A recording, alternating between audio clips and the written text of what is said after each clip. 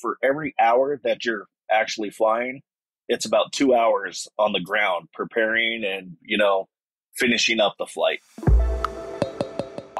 The Job Guppy podcast is on a mission to help career explorers and job seekers find out from real people what a specific career or job is really like on a day to day basis. Join me, your host, Chris Hodges, as we dive in and explore jobs with each guest. You'll hear from experienced working professionals with transparent, realistic, and job specific insight about the daily roles and their career journey.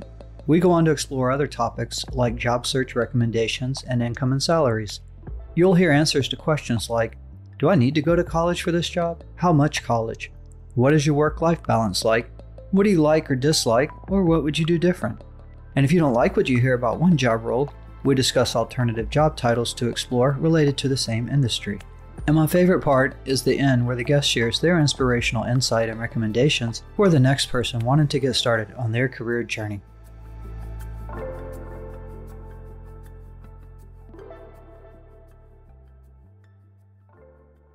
In this episode, we discuss the role of a pilot in the private aviation industry. Brian Miller is one of our guests. He is not just a captain, but he is also a training captain for a private aviation company. He has accumulated over 13,000 hours of flight time in single engine prop aircraft to the latest twin engine jet with the most advanced avionics. He has a commercial pilot certificate, ATP certificate, and multiple type ratings on different aircrafts. He holds a bachelor's degree from Northern Kentucky University. We also have James Kearsing as one of our guests. James is a 17 year old aspiring pilot. He has wanted to be a pilot for as long as he can remember and is already pursuing his pilot's license with the local Civil Air Patrol cadet program. During the interview, Brian outlines his daily routines and what it means to be a fractional airline pilot. The fractional airline industry is where multiple people share the cost of ownership and operation of an aircraft or maybe a fleet of aircraft. I will include links to several fractional airline companies in the show notes for reference purposes. Before this interview, neither James nor I had ever heard of the fractional airline industry. Brian shares how his career progressed from flying during his college years all the way to where he is now as a training captain. He and James discuss the pros and cons of attending an aviation related college versus a specialized flight school. We discuss how longevity and seniority with a company play a big role in pay, vacation, and better schedule options, and how even a very experienced pilot may have to start over if they change companies late in their career. Towards the end, Brian goes over the perks he, his family, and even his friends benefit from in his role. I personally thought his comment about not paying for hotels for probably the last 10 years, in addition to all the free airline travel, was pretty impressive. I've been flying commercially, I guess, for oh, it's coming up on 27 years now. I, I have flown in the airlines for quite a while. I flew flew at a couple of different airlines, and I have found myself for the last 17 years flying at a fractional airline, if you will. And basically, what that is is the best way to explain it is it's a timeshare for wealthy individuals and companies to buy into the airplane or aircraft and um, be able to have that aircraft at their disposal to fly just about anywhere they want to in the world. So I was a first officer for quite a while, and I'm a captain now, and I'm a also a training captain. So basically, what that is is that when new captains and new first officers come into our fleet, I train them and kind of get them on their way and get them flying out on what we call the line for the fractional airline that I work with. Of course, we'll circle back into that and kind of dig into those details and uh, what all those mean. But James, you would like to go ahead and introduce yourself? Hi, I'm James, as he mentioned. I am 16 years old, about to be 17 in about two weeks. I've been interested in aviation my entire life. Originally wanted to go to the Air Force Academy, decided, eh, not for me. And so now I'm interested in commercial aviation. Great. I appreciate that. So, okay, Brian, jumping into it then, let's just talk a little bit about, you know, break this down. And I mentioned before we started recording, you know, some of the things I look for on these interviews is, you know, there's a stereotypical what you get when you Google, I want to be a pilot. You know, the FAA has a blurb about it. Couldn't find a lot. There's a few, I think the best one I found was uh, the Piper, piper.com had how to become a pilot, learn if aviation is the right career for you. But If you could, maybe just talk about being a pilot. If you could break that down, it could be what you do right now and maybe a little bit about what it was as a commercial. Yeah, I guess what's the things that people don't see? Because when I go to the airport, the pilot comes in with his suitcase, walking behind him and the flight crew, and you walk on the plane and you go sit in the captain's seat and you, you know, smile and wave and make some announcements, welcome everybody aboard. But is there more to that than being a, a pilot? Let you take it from here and kind of break it down and share with people what it's like on a really a daily basis. Okay. So yeah, so for being uh, in the fractional world now, it, it is pretty different from being at the airlines. I like to say that for every hour that you're actually flying, it's about two hours on the ground preparing and, you know, finishing up the flight. Um, a typical day usually starts, we, we have iPhones and all the communications between myself and the company is through the iPhone, through an app. And they usually give me what's called a briefing the night prior, and it has my schedule for the next day. Typically, it's about four, yeah, three or four flights a day. Um, and they can range anywhere from 30 minutes all the way up to I've had six and a half hour flights. So, an average day, I usually wake up about six o'clock in the morning, get down to the van that takes me over to the airport, and because we are a fractional, we are usually on what what I like to call the opposite side of the uh, airport, the private side. So we're at the FBOs where you would do flight training and where all the private airplanes come in.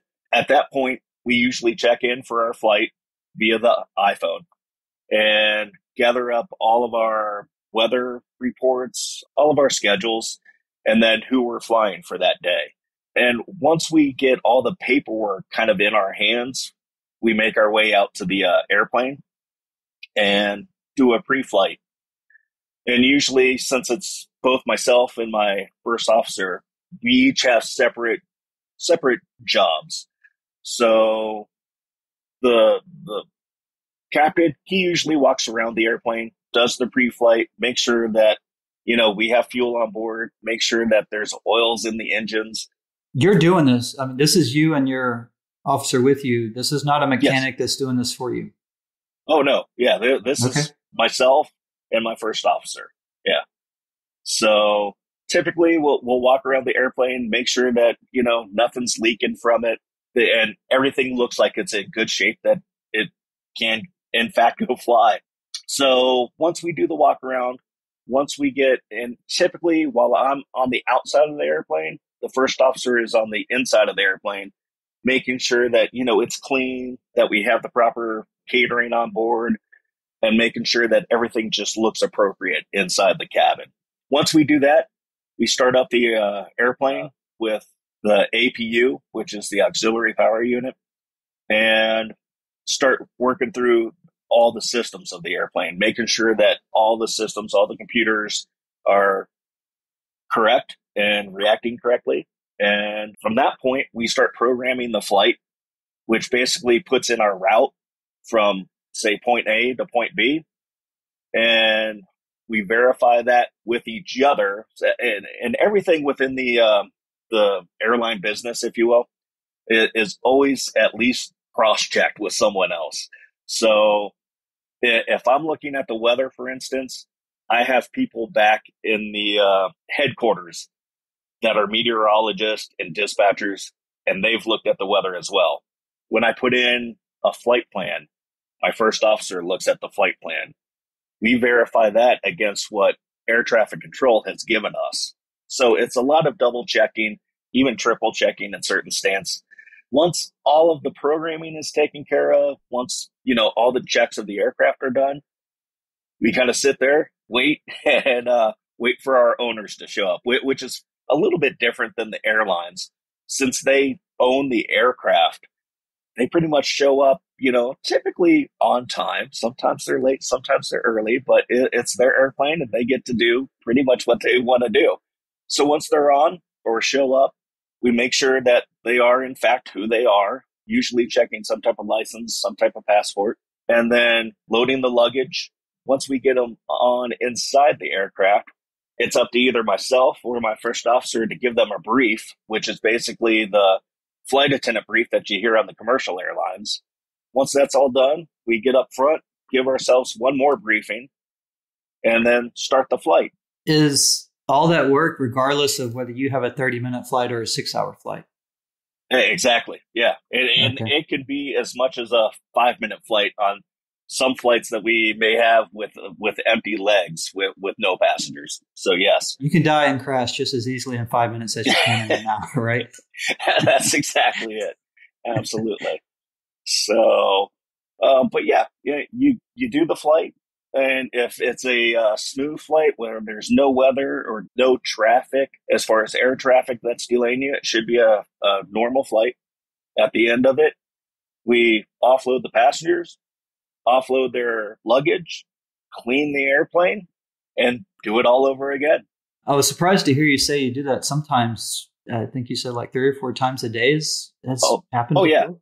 So tip, a, a typical day is you'll usually start out with what we like to call an empty leg with no passengers. And we fly to the destination where, the passengers actually are, pick up passengers, take them to a destination, and then we'll fly to another location to find other passengers to fly them to wherever they need to go. And typically, it's about a four four leg day. And like I said, so, some of the um, empty legs where there's no passengers, it, it could be as I, have had as short of legs as six minutes. And like I said, the my longest flight has been yeah, about six and a half, six hours and 45 minutes or so. You're not doing the whole pre check three or four times a day and like leaving from the same spot. You've done a pre check, you get going, and then you're kind of going leg to leg at that point. Yes. Yeah. Okay. And once once you do a lot of the, the pre flight, if you will, that we're allowed to omit certain things um, in subsequent legs. So yeah. uh, it, it does shorten it up, but still uh, like I said, it, it's for about every hour that you're flying, you you you know, for at least one hour on the uh, in the air, it's about two hours on the ground, eh, give or take. You know, so yeah. it's it's uh, quite the process, really, on the ground. Yeah, I'm surprised to hear it's that flip sided. I would have kind of thought the opposite, maybe. But James, you've probably had some insight into this already, and some of the, you know the things you've been involved in. Has that been your experience so far? Yeah, I would say doing the orientation flights with Civil Air Patrol, you go through all the pre-checks and stuff, and there are certain things that they have uh, omitted because they did that before you get to the plane in general. But yeah, I'd say I think on an hour-long O flight, there's probably about an hour and a half of just pre-checking, and that's just for a Cessna 152. So yeah, there's the little things I pick up myself on each of these interviews. so it's a good, very good breakdown. You know, a lot of the things I have that I try to cover is like in the office, out of the office, uh, travel, meetings, stuff like that. You know, it, it doesn't sound like you go into an office hardly at all. It's a lot of communication remotely, so to speak, where you're getting things over the phone, iPhone or something, and then you're basically going on into the airport. You know, you're not having to go into some debriefing room for two hours before you get to walk out to right. the plane. So exactly. So in your case, you call this a fractional airline. Is that what you called it? Yeah, yeah. That's a, a term that's airline. recognized in the industry, fractional airline? Yes. Yeah. Okay. So typically there there's um you know, you have the airlines that everybody is familiar with, American, Delta, United and all that. And then you have the charter business, which is basically individuals and individual companies that rent out their airplanes on a, a single use, if you will. And then the, the company I work for is the fractional, and there's oh, there's a handful of them, but primarily there's three well-known fractional uh, outfits out there. The individuals actually own part of that aircraft. You know, if you could maybe touch a little bit on, you know, your career path, how you got there, what were the different levels and titles you went through? I guess the unique part too, you know, is there anything unique about your role other than maybe other fractional airline pilots? Uh, you know, anything that sets you apart from them that you think would be neat to you know talk about? Yeah, I, I'm kind of like James. I since I was little, I knew I wanted to fly airplanes. My father was a commercial pilot. I remember going on trips with him as you know a, a middle schooler, and I thought, eh, I think I could do this. This looks pretty cool. So as I graduated high school, I started getting into the training aspect of it. For me personally, I had thought about the military just for a short while, decided that wasn't really for me. And I decided that if anything ever happened to me physically or I couldn't fly an airplane, I wanted something to fall back on. So I went into college for a communications degree. So my background in college is communications. And as I was getting that degree, I flew on the side. So I went to just a private um, uh, airport in Cincinnati and uh, flew on the side, found a flight instructor, and started flying. Started flying privately. The normal sequence is you go and get your private license, which usually takes about 35 to 40 hours of flight time. From there, typically, and, and I say this typically, it, it, there are many different paths, but this is, you know, if you take this path, this is kind of the typical path. I went and got my instrument license, which basically, when you get your private, you're flying line of sight. So whatever you see out the window, that's where you're flying to. When you get into your instrument rating, you go into the instrument panel right in front of you. So you can fly strictly off of the panel and not look outside and get from point A to point B. Once you get that license, you typically go on to get your commercial license, which I believe is James probably knows better than me at this point, but um, usually it's about 250 hours, I believe. It's still at where you get your commercial license. And during each one of these sequences through private instrument and commercial, you have to take a written test. You have to have a oral test in front of a flight examiner and then a practical test. You have to go up in an airplane and actually show them that you know how to fly and, and do the certain sequences that they want you to fly. So I got my commercial license. And from there, you're basically just building time. That's what I did, along with getting my CFI, which is a certified flight instructor. So I was a certified flight instructor, a certified flight instructor instrument rated. At one time, I was able to teach any new student their private license, their commercial, and uh, eventually instrument, commercial, and uh, multi engine. So that was kind of my path to get the hours that I needed to eventually get paid to fly an airplane. After I flight instructed for about a year, somewhere in that neighborhood, I went and got a freight job, which I was basically flying packages for UPS, uh, FedEx, and just the United uh, States Postal Service. Just all their postal service um, and a small twin engine uh, prop airplane. I did that until I got about 1200 to 1500 hours. And I ended up getting hired to American Eagle, which was a regional airline at the time. I flew there for a while as a first officer. I upgraded to captain. That was during, I'm showing my age now, um, 9 11.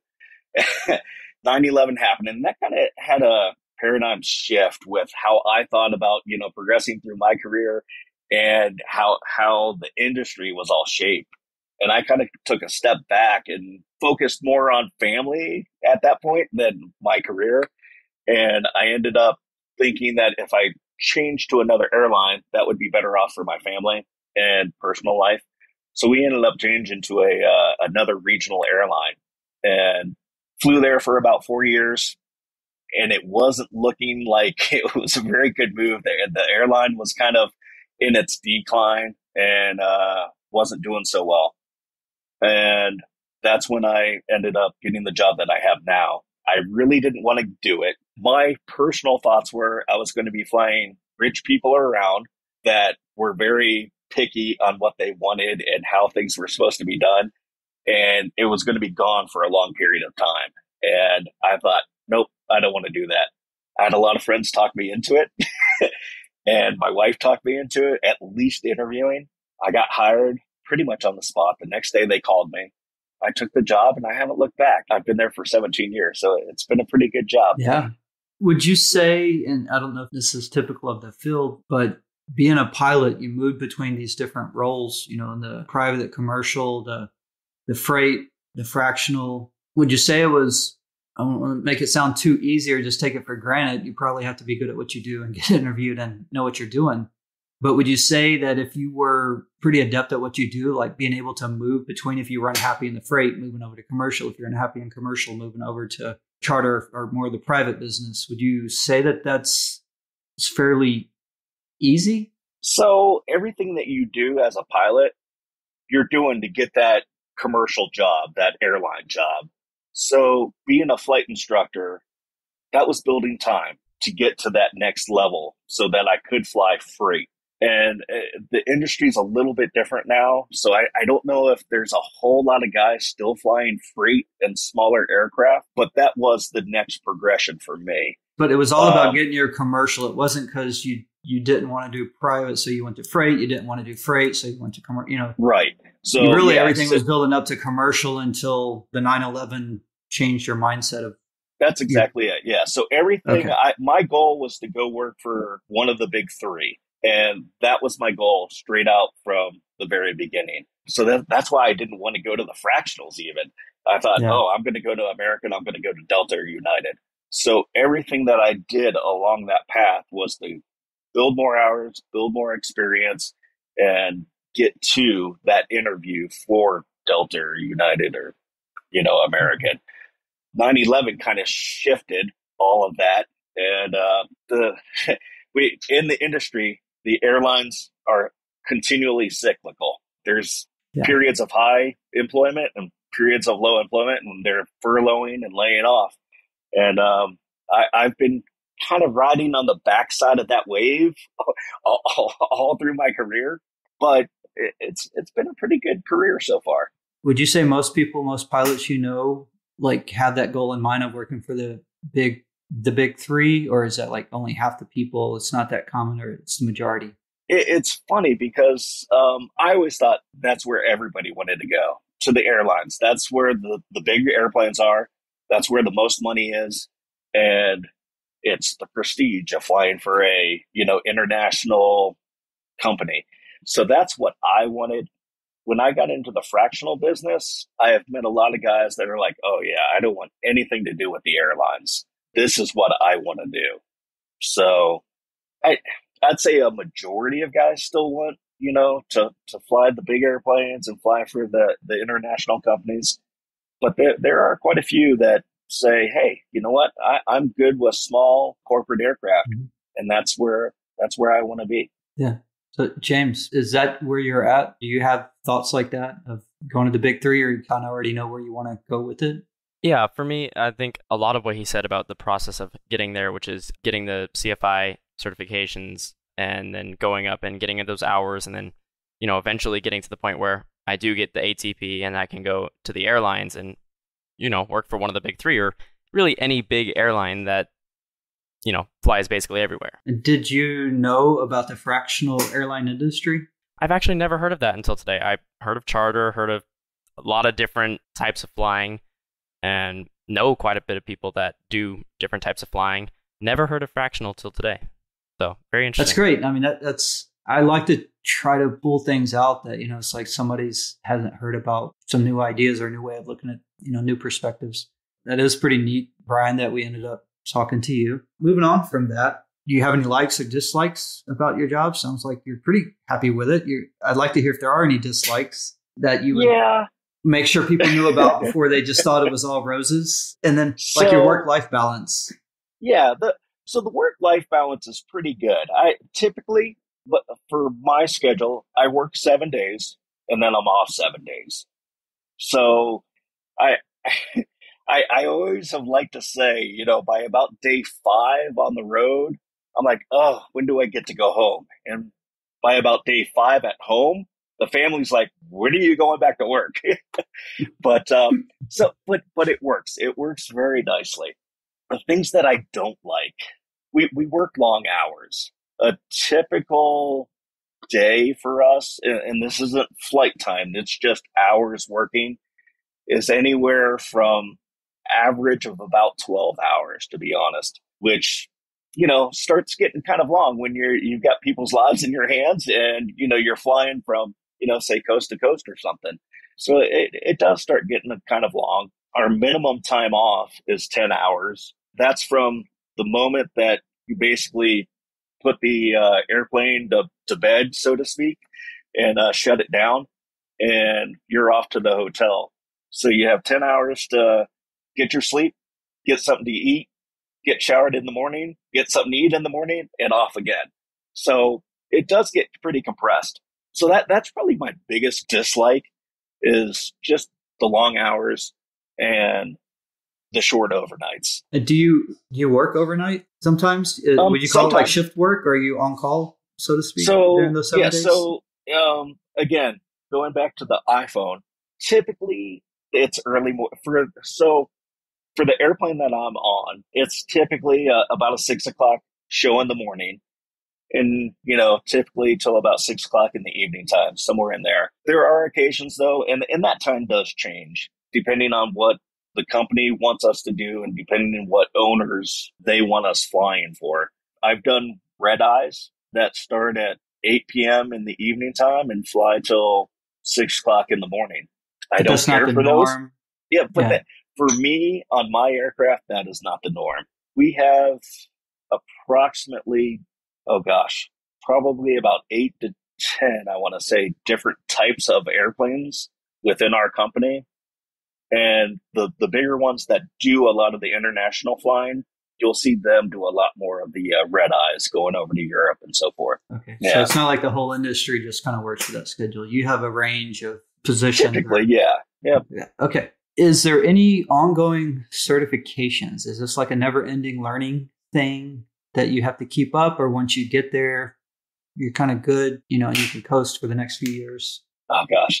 So, so once you get hired to an airline or the, the fractional like I'm with, it's usually about every year you have to go back to school. And that entails about a five to four day going back to school, flying the simulator, for typically for, for us, it's three sessions that we fly, ranging everything from emergency procedures to, you know, just regular line flying from point A to point B. And then on the final day, we usually do a what's called a check ride.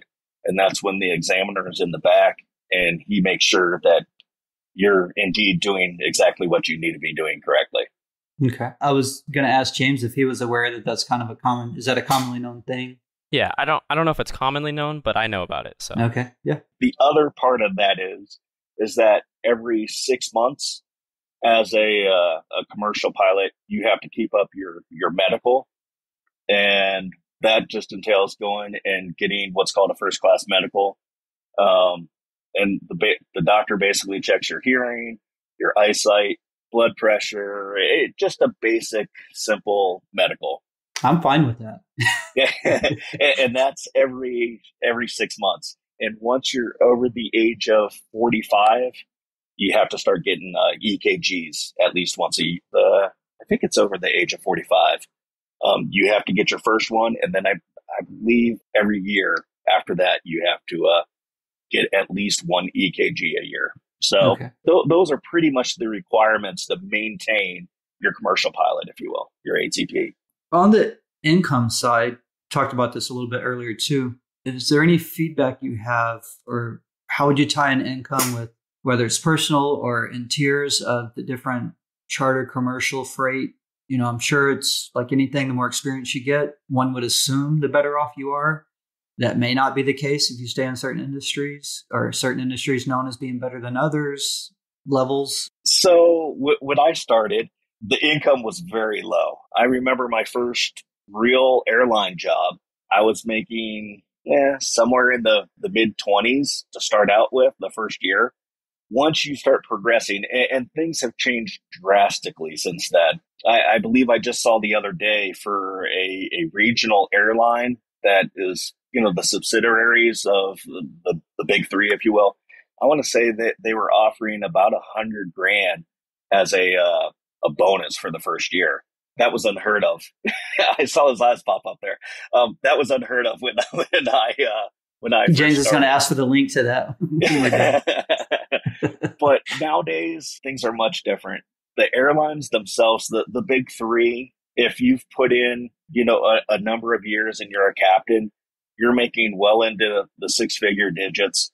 It, it's a it's a comfortable living for for the company I'm working for. It is a six figure job, and it's it's well into it. So it, it is comfortable. It, it allows you you know the freedom to have have a little bit of money, and it's a good paying job, really. So it has a high ceiling and different. You can kind of like in the fractional and the commercial. Basically, it's there's high ceilings and multiple pass up. Yeah. So uh, yeah, once once you have put in your hours, like you kind of said, in your time, you know, you, you keep on making, you know, the, the pay scale keeps on going up if you're with the same company. Uh, and I guess that's kind of an important thing there as well. Say I I leave my company now and go work for say one of the big three, I will start down at the bottom of the pay scale and their, their seniority list. So all pilots are on a seniority list with the company that they work for.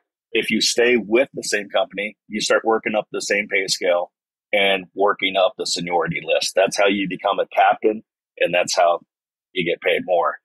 Um, so if you change jobs, you'll start down at the bottom and then start working your way up you know, in my job, I'm in electrical engineering, and it's not uncommon for people to change companies and to get big bumps when they do that, you know.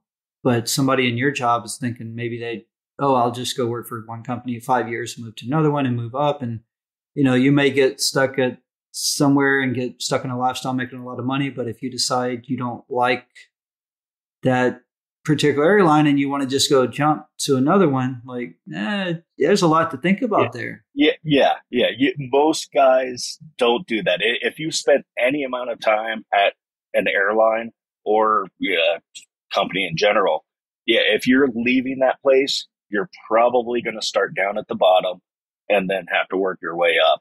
I, I, for myself, I always kind of set 45 to, you know, as my age to where I was like, I'm probably going to stick with this company no matter where I'm at at, the, at that point in my life because to go back down, it just wasn't worth it financially. And yeah, so your seniority on that pilot list for whatever that company is is everything. It it defines your your pay, it defines your schedule, it defines your vacations. And the more seniority you get, the better life you're going to have. You know, the better schedule, the better money, the better vacations.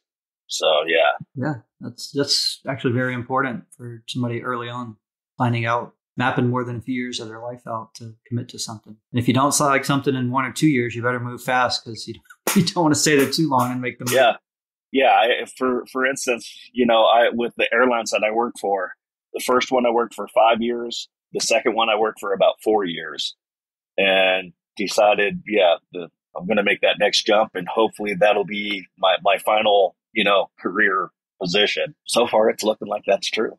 Do you have any questions about that, James? Before we move on, I think I did have one question.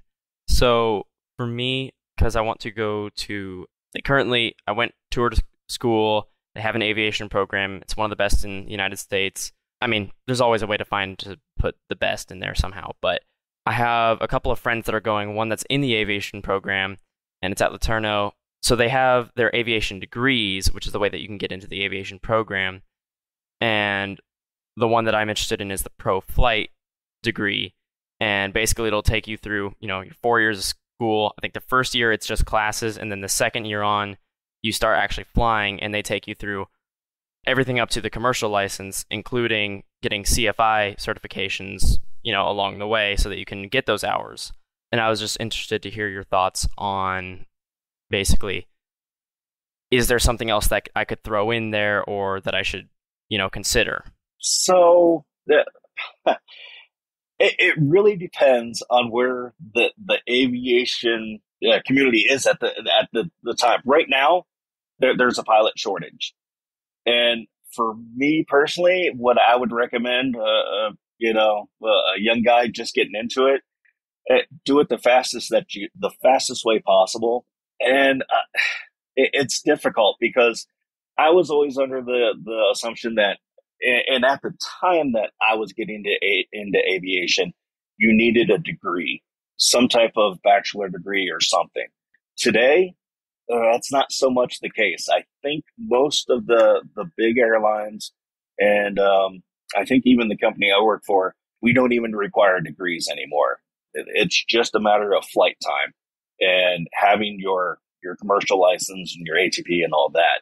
So I, I would almost say, hey, it, it's it's tough to give that advice because it really depends on, on the individual. Hey, do you want to go to the four year college and get all of your ratings and a degree, or do you just want to go to a uh, there's flying schools out there like uh, one's called All ATPs. That there's numerous ones out there that you can strictly just go to and get your ratings and go start flying. And there's a lot of those schools. And like I said, I'm kind of out of that realm for the most part anymore. But I know a lot of those schools that are private do have connections with airlines, whether it's a, a, a regional feeder or whether it's uh, like a Frontier or a JetBlue or something like that, where they you know automatically get you an interview at one of those airlines and get you started on that that airline career. I, I know a lot of universities kind of have that same setup as well. It really depends on what you want to do, and um, fi- financially as well. If if you got you know, of course, scholarships to a university or something, heck, go that route because going to one of these private flight schools is pretty ex- expensive as well. So it, it just depends on where you are in your life, what kind of finances you have as well. So that kind of leads me to a question about the degree programs. You know, I don't, I don't definitely don't want to discourage anybody from getting a degree because it's, you know, I have four kids myself and I, you know, I tell them it's it just gives you options. It doesn't guarantee you anything. It just gives you uh, maybe maybe a little better option than if you didn't have it. But in this specifically, what does a degree, you know, in this case, there's networking, there's, you know, you're getting to work alongside, getting your hours while you're, you know, studying. What else would a, does a degree get you anywhere faster? You know, does it open up doors that maybe wouldn't be open without a degree when it comes to being a pilot? You know, are there any big drawbacks that you see?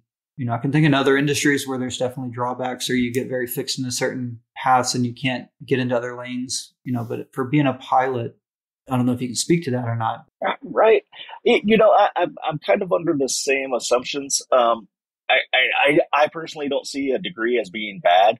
And if you have that degree, I am sure, uh, matter of fact, I know that that's just one more check mark on that application and resume that you, you know, you have a degree and it, it kind of lifts you up a little higher, if you will.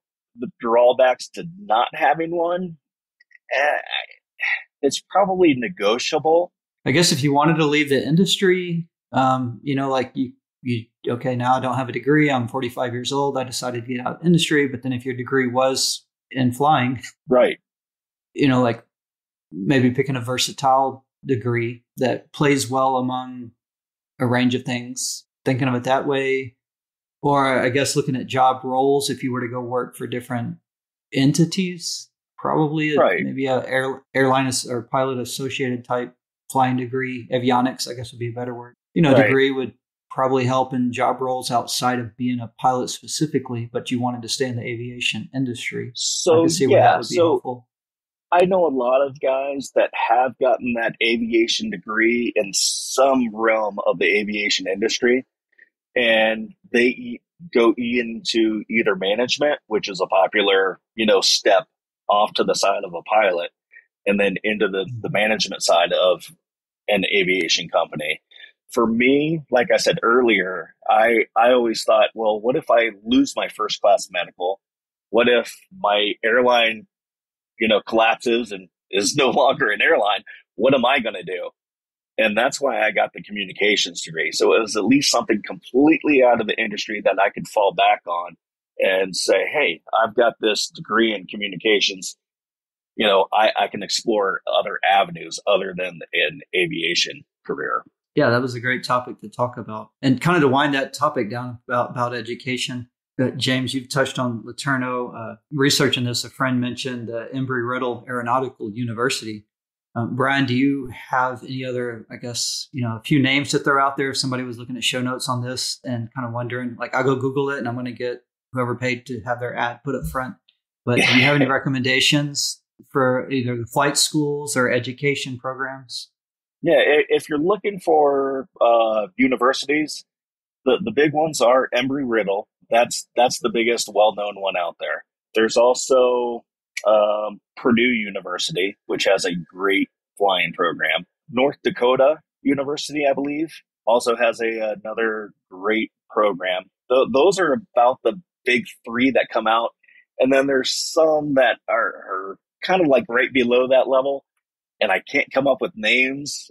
Th- those are the the big ones that uh, for university wise. As far if you didn't want to follow the university path, oh gosh, there, there's a number of them. I went to one that's based down in Florida now. That's called Ari Ben Aviator. I believe that's in Fort Pierce. They were great. There's another one called All ATPs. And there's just a number of different types of flight schools like that where they take you from zero time all the way up to an interview with an airline. You know, if somebody was looking for jobs in this industry, what are, you know, some terms other than just randomly searching pilot? I mean, is that is it that generic or are there specialized names that are helpful to know? You know what? what one site that I have always loved, it's called, um, I believe it's Airline Pilot Central and they give you a breakdown of every single airline out there how many airplanes they have, how many pilots they have, whether or not they're hiring, and how much you can possibly make at that airline. It is a fantastic resource. And wow. if you're looking into getting into the industry, I, I would highly recommend just kind of looking through that website. I believe there's a, a form on there as well where you know, individuals can talk back and forth about what's going on, who's interviewing for what, and what the interview process is kind of like. And do people normally go to airline industries to look for jobs? Do you have to know the name of the company, or do they you go on Indeed or Monster.com and uh, type in that one? I couldn't tell you anymore. Um, no. I, yeah, that's fine. Yeah, that I'm not sure. I know at the time when I was starting to look, it was a centralized kind of website that you went to, but I, I couldn't even tell you what it is anymore. So I, I, that I'm not sure.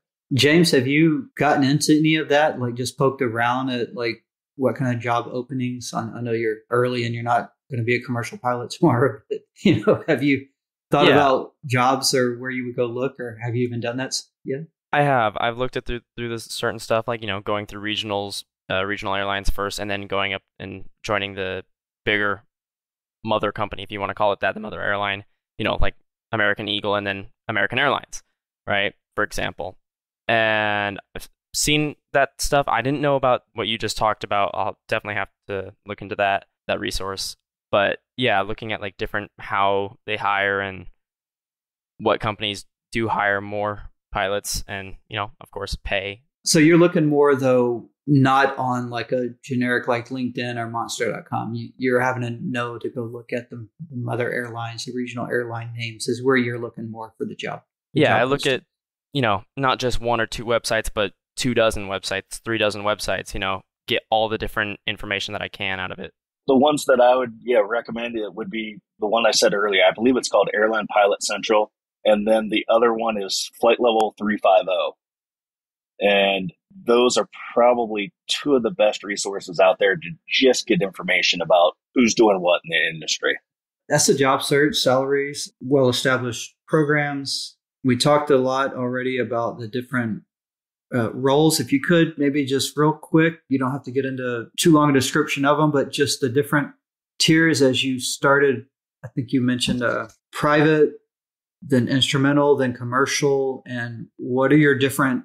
Those are your license that you have, and then what are your different titles? First officer, captain, training captain. What's that ladder, career ladder? Yeah, the, the career ladder basically when you get hired at an airline, we use that term generically there. When you get hired at an airline, you become a first officer there. You're sitting in the, the right seat and basically you're assisting the captain in all the duties of flying the aircraft, making sure number one, safety is always number one. And then, you know, making sure that passengers get from, of course, point A to point B. Once you start moving up the seniority list and you have enough seniority, and that depends on the company, it depends on yeah, a lot of different things. But like I mentioned earlier, the seniority list is what where your progression is within the company. And um, once you start moving up that list, you will become a captain. That's pretty much uh, you know the, the pinnacle of the uh, flying career is to be a captain at an airline. For me, I wanted to instruct new guys coming in, so I applied to become an instructor pilot, and uh, I've been in that role here for about a year or so now, and you do get paid a little more on that. But my thing was is that you know what I I was one of these young guys that came in, and uh, you know I had a lot of good instructor pilots, and I was hoping to you know be one of those guys myself and pass along good information, practical information, and um, you know just be able to help out and mentor the new guys coming up in in the industry. Yeah. So those guys are going to be flying your family one day. Yeah, so. that, that's exactly it. That's exactly it. you have a vested interest. Yes. no, that's great to hear that that's your outlook on it. That is nice to hear. And I, I like to see, I like to call it some point in my career, I'd like to get paid for what I know, not what I do. Right. Yep, exactly. so uh, there's a crossover point you make it, hopefully at some point. That's exactly it. Depending on what your industry is. But the last thing I have really is just any ad- advice or inspiring words. And James, I want to give you a chance at the end for any questions too. Um, so maybe I'll ask James if you have any questions, and then we'll wrap up. You know, Brian, with any advice you might have to the next round of pilots, or you know, inspiring words you have that you'd like to share before we drop off. But James, do you have any uh, any further questions or anything like that? No, I think I'm good. Thank you. All right, great. So, Brian, uh, any parting words? In parting words, uh, now you know what? It, it's something that you have to have passion for, and if you if you don't have that passion, you just think, "Oh, I want to be a pilot because it pays well." I wouldn't recommend it. You, you definitely have the passion because it is a lot of steps, it's a lot of testing, and um, it is a lot of hard work. But it's very rewarding once you get there. And uh, yeah, it, it's a great career. You get to see the world if you want to it, it, provides well for you know bringing up a family and all that kind of stuff as well. If I may, one of those things that I we hadn't talked about, and you know perks of a job that I was just kind of thinking about myself sitting here. There's a lot of perks to being a pilot as well, whether it's with an airline where you get to fly for free um, anywhere you want in the, the world, really. And that's probably the biggest perk that uh, people probably would think of. Just hop on. Do you get to bring along a significant other? You get to bring along your family. So yeah, oh, your family. Yeah. so the entire family gets to fly for free, and typically with the airlines, your mom and dad also get to fly for free, or at least a, a very steep discount as well. And with that, do your parents know that, James? as well, um, you get what's called buddy passes at the airline, so you can hand those out to friends. Uh, usually, it's about five a year, somewhere in there, depending on the airline, and uh, those people get to fly at a steeply discounted rate as well. So that's that's the big thing for for me in the fractional industry. We fly on corporate jets that are um, occupied most of the time by very wealthy individuals, and um, when it's not occupied, we get we can fly on the back of those the, our aircraft for free as well. Now, it's kind of a surprise where where, where you're going to go because you, you can't just say, "Oh, I want to go to this place." It's you know, if there is a airplane going to wherever you you know it's going, you can hop on that airplane and go. But it is a pretty nice benefit. We also get hotel points, which allow you to stay at hotels for free. And then we also get so when we fly to go find our airplanes wherever they are in the country, we usually fly on the back of the airlines and we get the airline points. So therefore we can kind of fly for free on the airlines as well. So those are just wow. some of the, the, the perks and benefits. There, there's a few others here and there, but those are the big ones really. If you like to travel and see places, that's huge because that's usually the biggest. Uh, a, you need time off to go, and B, you need money to go. Right. But if you're racking up hotels, you're getting free airlines. Your job is basically going to a destination anyway. Right. That is your office. Is the way to the destination. And I, I, I tell people I, I haven't paid for a hotel room in probably the last 10 years. It's, it's all been on points. So it, it's a huge perk to the business. yeah. So thanks for sharing that yeah, too. yeah, absolutely. anybody's looking to maybe wonder if they should cross over that threshold and make that decision. Maybe that's maybe that's what they needed to hear. Yeah, yeah. Well, great. We'll wrap it up with that. I really appreciate both of your time and sharing your insight, and James sharing your curiosity about this, and hope there were some good takeaways from everybody on it. We'll see where this goes. Absolutely. If you like what you hear and want to take the next steps in exploring your career after listening to an episode, go to jobguppy.com to see a summary and helpful links to things mentioned during the interview, like industry specific forums or websites, example job searches, career ladders, and degree programs or trade school recommendations. The hope is you now have more information than you did before from the guest on the podcast to help you move forward with the next steps on your career exploration journey. Tune in each week as Job Guppy continues to explore a million jobs in the sea.